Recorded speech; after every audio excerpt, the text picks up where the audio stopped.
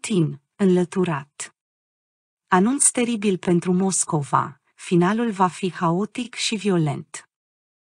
Revolta Wagner a scos la iveală mai multe slăbiciuni din regimul lui Vladimir Putin. Un oponent al opoziției ruse a reacționat în urma acestor evenimente și a transmis un mesaj clar. Țara și lumea știu acum că este posibil să te revolți împotriva lui Putin.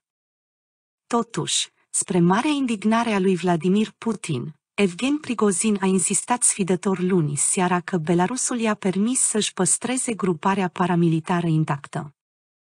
Un alt semn de slăbiciune al lui Putin a fost atunci când acesta a spus că wagneriții sunt liberi să plece, a subliniat sursa menționată. Din primul mesaj audio al lui Prigojin de după încercarea de lovitură de stat nu era clar dacă liderul Wagner se retrăsese în Belarus și nici măcar dacă avea intenția să o facă.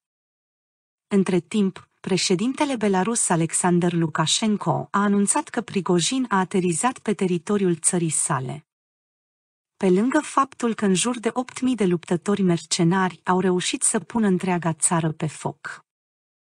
Ceea ce e foarte îngrijorător pentru Putin este că mulți dintre spionii și oficialii de top ai săi știau ce pregătește Prigojin și cu toate acestea nu l-au informat la timp pe președintele rus.